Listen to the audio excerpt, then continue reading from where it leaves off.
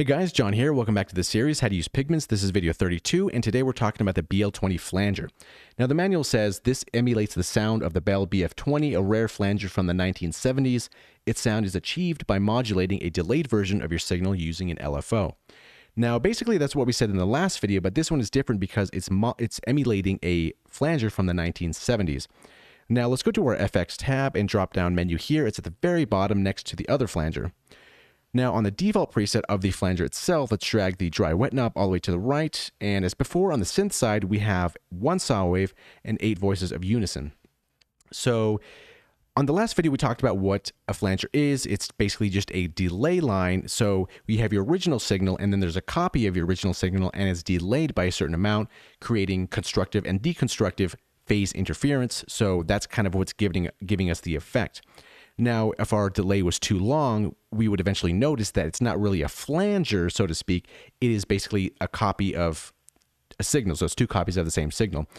And as a quick recap, the flanger was created a long time ago with the tape reels where they would have a copy, uh, two copies of the same signal, and it was getting mixed down to one source. And the engineers would push down with their hands on the flanges of the tape, and it would slow down one side, and then they could do it to the other side, and so on and so forth and that's how it was eventually created. So, with that being said, all these knobs here should be familiar with you if you watched the last video. And basically we have our delay here. So this one's slightly different than the other flanger because this is a value from zero to one. Maybe that's how it was on the original piece of gear. I have never seen it, so I'm not sure, but this isn't necessarily measured in milliseconds to my knowledge. This looks like just zero to one. So definitely use your ears for that. And then over here we have our LFO, which is going to be modulating the delay time. So we have rate in hertz, sync, sync triplets, and sync dotted. So you can just do it by hertz if you'd like to, or you can sync it up to your tempo if, if you so desire.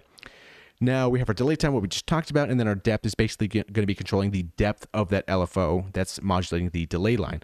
A little wild to wrap your head around, but hopefully that makes sense. And then we have our feedback, which I find very interesting. So the copy of our signal that's getting delayed is coming out of that delay and going back into the flanger. So it's kind of making a little loop there. So it's feeding back into the flanger. Something very interesting, I think. Now we have this wide, which is also interesting. This is selected by default on the default preset. And as we hover our mouse over this, this says inverts the phase of the LFO modulating the right channel. So let's take a listen to see what that sounds like. So this is off. And then on.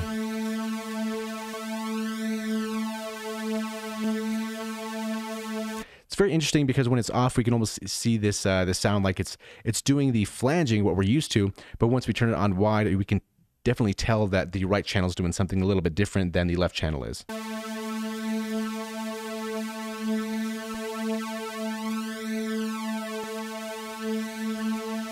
And then last but not least, we have this mono input. So this is basically optimizing this module here depending on what your signal is. So if you have something coming in that's just a mono signal, like your, your patch is maybe just a straight up up and down sine wave or something, or I don't know what it is, maybe some, whatever it is that's mono, you might want to mono that up here for the flanger and it's to make it a little bit better optimized for your sound.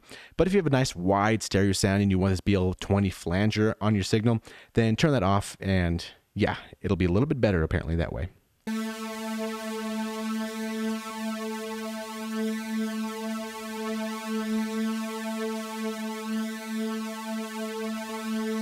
And that is the BL20 flanger in a nutshell. Flanging is very cool. The main thing to drive home is that it is different from a phaser. They sound similar, but remember that flanging is created with a delay line, whereas phasing is not. So that's the big, the big difference between the two effects, where they can sound a little bit similar, but they're actually done in very different ways. So hopefully that all makes sense, and we will see you in the next video.